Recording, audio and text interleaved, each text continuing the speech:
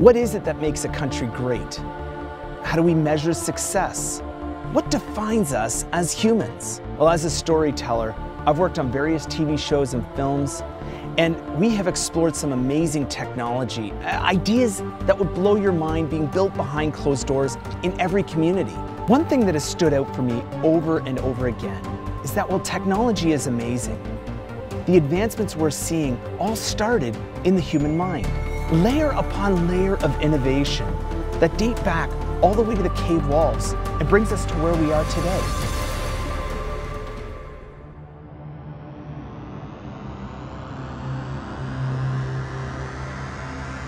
The echoes of the spirit of innovation ring all around us.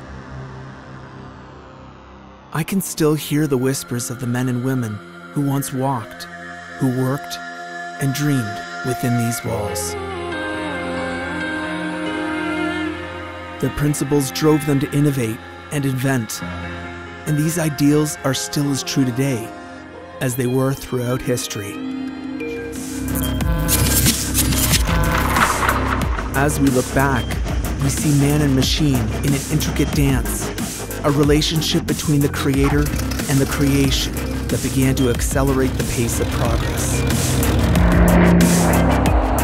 Layers of creativity built upon each other, with each new chapter made possible by the success found on the previous pages of history.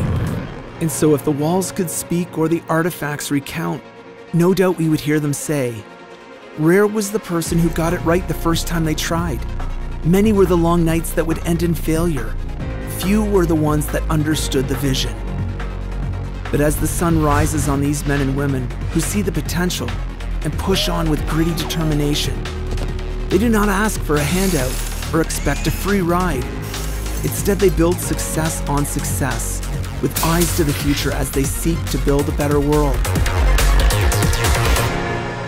So, as we reflect on how far we have come, we must recognize the principles of hard work and integrity, honesty and dedication will always be at the heart of American ingenuity.